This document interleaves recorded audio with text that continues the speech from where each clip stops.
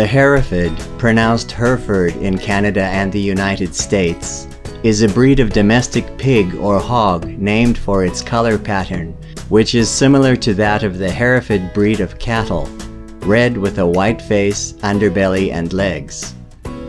The Hereford is a medium-sized hog breed that is unique to the United States.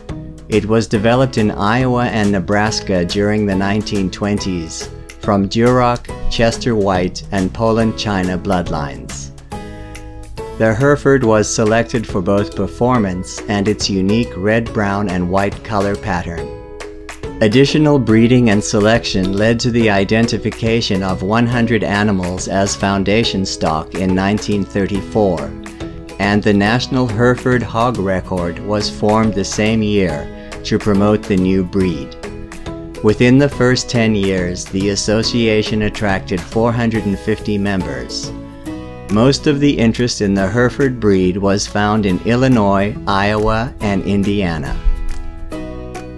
The Hereford's name was inspired by its strikingly beautiful color pattern of intense red with white trim, the same as that of Hereford cattle. The breed description calls for hogs to be primarily red with a white face and two or more white feet. The shades of red can vary, though deep red is preferred. Hereford cattlemen were so taken on the new breed of swine that the Polled Hereford Cattle Registry Association sponsored the formation of the National Hereford Hog Record. Herefords are adaptable and thrive both in outdoor operations and under confinement systems. They also do well in a variety of climates. The hogs are known for their quiet and docile dispositions, making them an excellent choice for young people.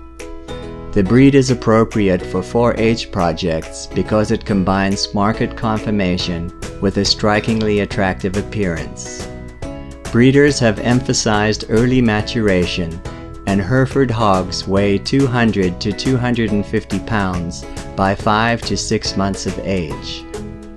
Herefords do well on pasture but also use grain efficiently, reaching market weight on less feed than many other breeds.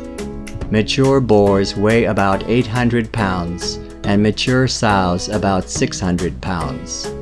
The sows produce and wean large litters. They make excellent mothers. The Hereford began to decline in numbers during the 1960s with the shift away from the commercial use of purebred hogs. Today the breed population is estimated at fewer than 2,000 pigs in the United States. The characteristics of the Hereford make it a natural choice for small-scale production on farms and homesteads. If you enjoyed this video, Please subscribe, like, and share.